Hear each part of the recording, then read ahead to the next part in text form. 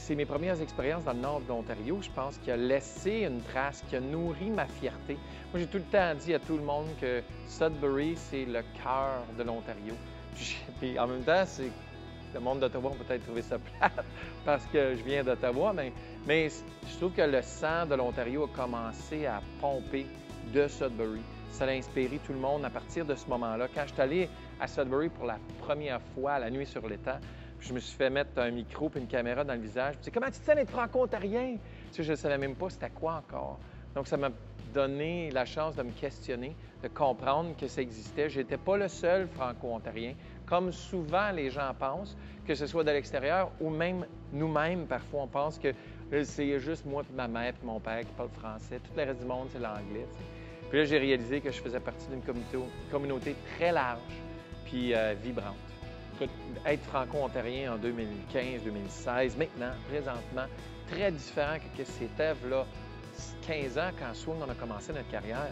Euh, on est beaucoup plus organisé, plus fier que jamais.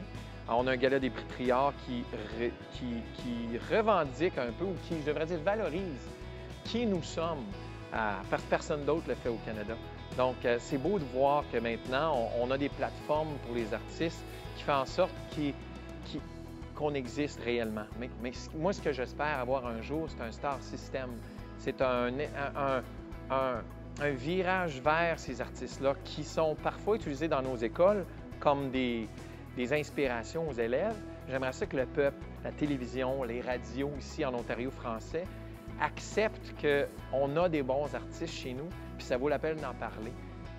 C'est magnifique de dire que ça fait plus de 15 ans que je voyage comme artiste, comme, comme auteur, compositeur, interprète d'un groupe franco-ontarien. je fais des affaires extraordinaires. Je veux dire, quand j'ai parti le groupe, c'était juste une idée de mélanger la musique folklorique avec la musique urbaine américaine que je connaissais. Puis au début de notre carrière, c'était clair. Les gens disent, écoute, ça va durer un an. Après ça, on n'entendra plus parler de ce groupe-là. Donc, pour dire que cette année, j'ai fait la fermeture des Jeux panaméricains à Toronto, en première partie de Serena Ryder, Pitbull et Kanye West.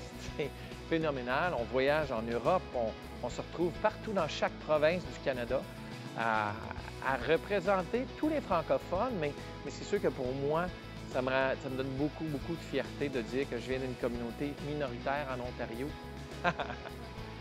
Dans un mot, je pense qu'un franco-ontarien, c'est un cactus. Oui, tu sais, parce qu'on n'a pas beaucoup pour survivre, mais malgré ça, euh, on, est encore très présent et, et, et si tu nous agaces, on pique et on mord un peu.